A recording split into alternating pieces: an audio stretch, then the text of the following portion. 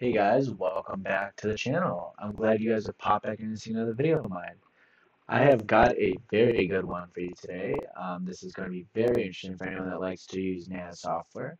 Essentially what we're going to do today is we're going to load up TrueNAS and we're going to reverse proxy our TrueNAS apps um, using Cloudflare tunnels and Traefik.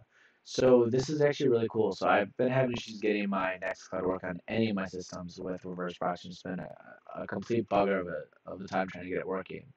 So what I ended up doing was taking an old workstation I had, popping a couple hard drives, and loading up a Nextcloud instance. So it's really simple to use TrueNAS Scale. I wouldn't recommend using TrueNAS Core. I fiddled around with that for a little bit, and TrueNAS Core actually had a lot of issues, a lot of issues running anything other than the space like iSCSI or um, SMB setups. So I switched over to TrueNAS Scale and all those issues I was having before had basically vanished. So I'd recommend if you're installing anything to use TrueNAS Scale. iSCSI is still in there. Um, it's really nice. One thing you can do with that, which I come up with another video, is that you can run like uh, an iSCSI drive. So it's a drive directly in your Windows. So if you go to, if I go to my PC, um, you'll see it's like it's an actual drive. It shows the actual drives in my Windows. If I go to my hard drives, uh, storage manager, sorry.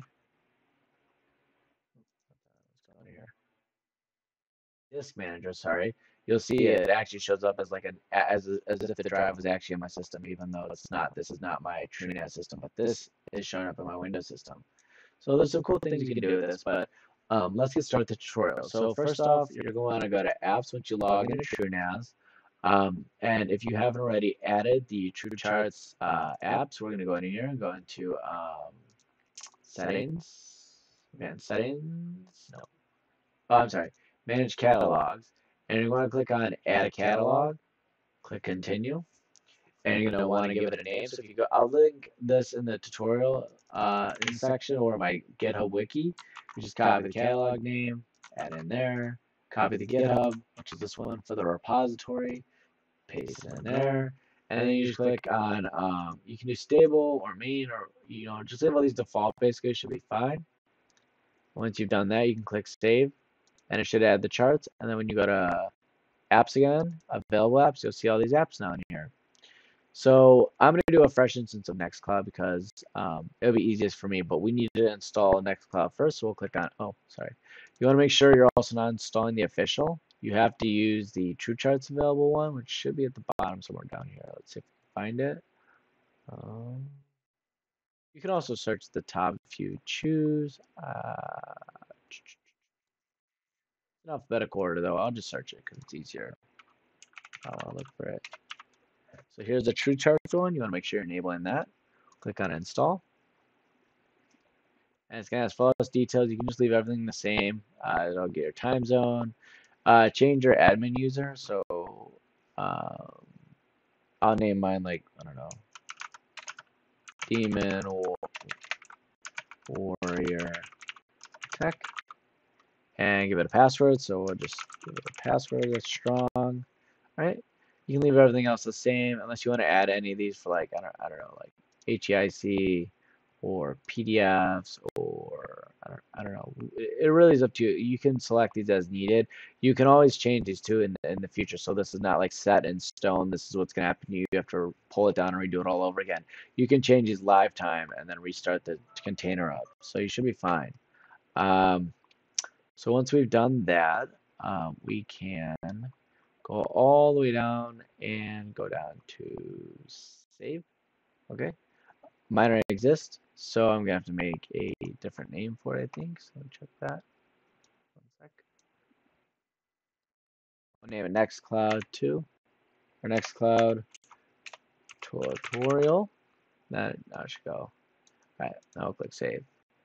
Alright, once it's saved, we should see it create the container.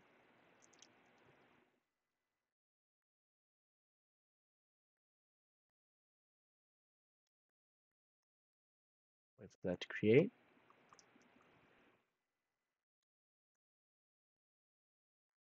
Okay, now once that's done, we have our new container called Nextcloud Tutorial.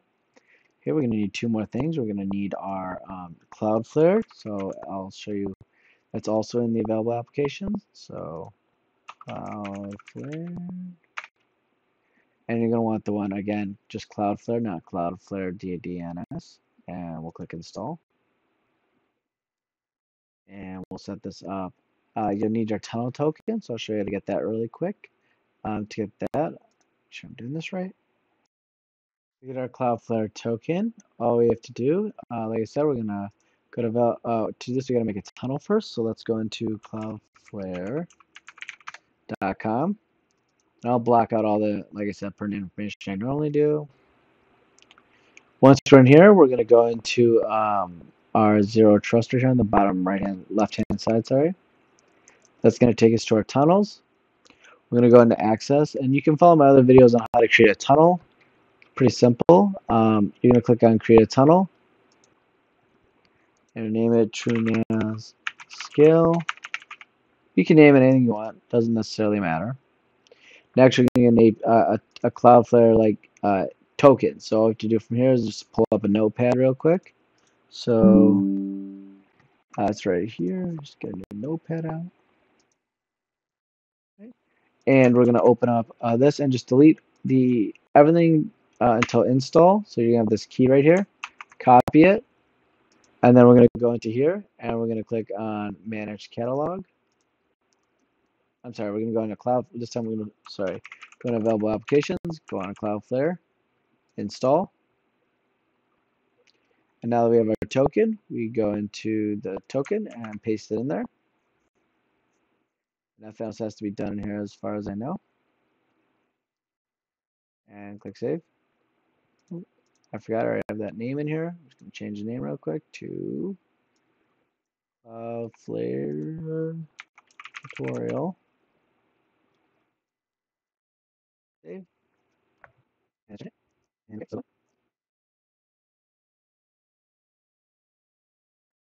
Okie doke. Now that's done, we can install Traefik. So I'm going to install a Traefik. So we'll do, uh, again, available plugins and install Traefik. Um, before you install Traefik, I almost forgot. So you need to do two things for if you haven't already in your web UI. So when you install Traefik, you need to make sure you change your local ports for your uh, your TrueNAS scale. So to do this, should I find the right documentation on this? Hold on one sec. Okay, so we need to change our TrueNAS GUI or web portal to 81 and 444 for the ports because if we don't, then what happens is when you try to load Traefik and you install it and set it up, it'll try to boot Traefik instead of uh, instead of Nextcloud on your 443 and 80 port. So to do this, all we need to do is go into System, Settings, General, and we click on um, GUI and click on the Settings tab. And you're going to change this, which yours will be 80 to 81, and this will be 443. I'll change this to 444. And click Save, and it should reboot. And then to load your UI then, you'll take your local IP and then colon 444 to log in next time. So it won't just automatically load. You type in your IP of your TrueNAS install and then colon 444. Okay? So once we've done that, now we can install Traefik so it does not conflict with the install.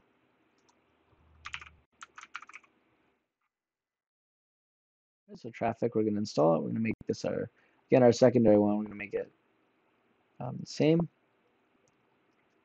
Really, once you install that, it's all basically the same. You know, you just keep everything default, but I'll show you what it's like to install it.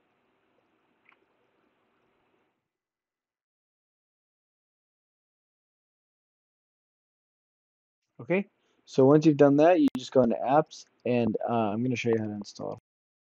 Okay, so uh, won't let me install second Traefik instance. So we're just going to go to edit and I'll show you my Traefik install. Basically, you're going to have three things you want to do. So you're going to change your um, entry port. So see where is it? Actually, I think everything stays the same in here. You need to Entry port needs to be 9,000. That's the only thing you need to add in here, I'm fairly certain.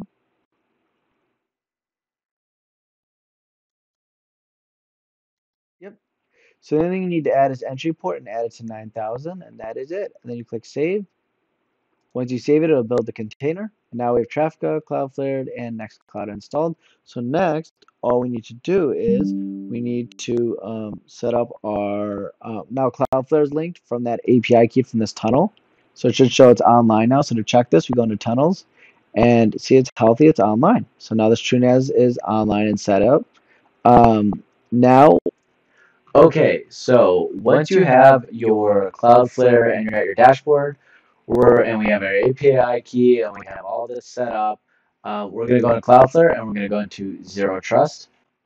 And we're going to add two different um, tunnels to our RAMA tunnels. Once we have our RAMA tunnel, go into our TrueNAS scale instance, go into public host name, and we're going to add a public host name. We're going to add um, two public host actually. We're going to add star and then our public host name, so devilsdesigns.net. HTTPS is going to be the type, and then we're going to add um, this code in here for our Traefik instance to port it. So it's going to be this domain.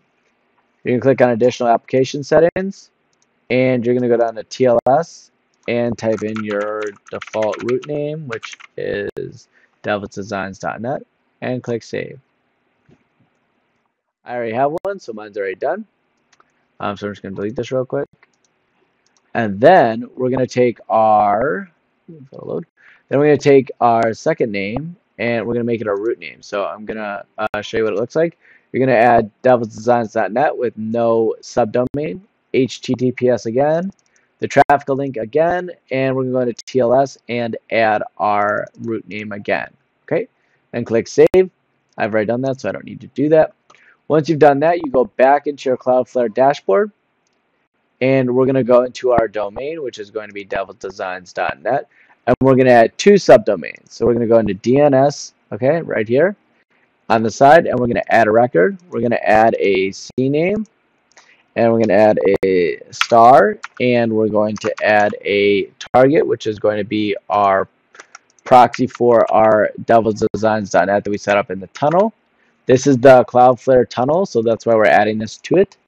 Once you click that, we can click save on that um, tunnel, this one right here.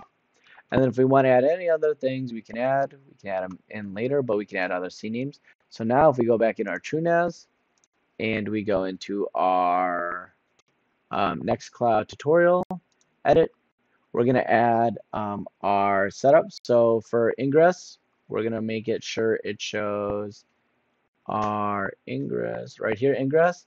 Enable ingress, we're going to make it files.devilsdesigns.net for our Nextcloud instance. We're going to add a path and leave that default.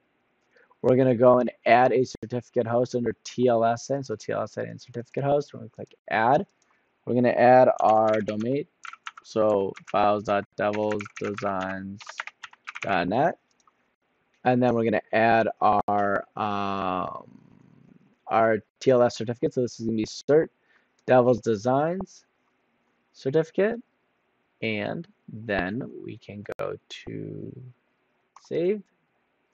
And now it's going to save that and process that certificate. And then if we load it up, it should load up our Nextcloud once it's done. So we'll wait here until it's done. Okay, once it's done, we're going to have to go into our Nextcloud. We can just click open, and it should open our domain now. And there we go. And there's our Nextcloud instance. So now you have successfully reverse proxied a TrueNAS install of a Dockerized web app in your Nextcloud. If you guys have any comments, questions, or concerns, please reach out. We have our Discord available 24-7 for help. You can check us out here on our Discord. It'll be in the description. Also, check out our GitHub wiki, which has a lot of useful details and documents in there. If you guys want to see anything on there or need any help with Windows installations or TrueNAS, I'll have, probably have a written tutorial up there too, just in case you guys need any extra help or requests uh, with a couple of the links and ideas and screenshots of what we did in this. Thanks, guys. If you love my content, please keep watching. And thank you guys for supporting me. Have a great rest of your day.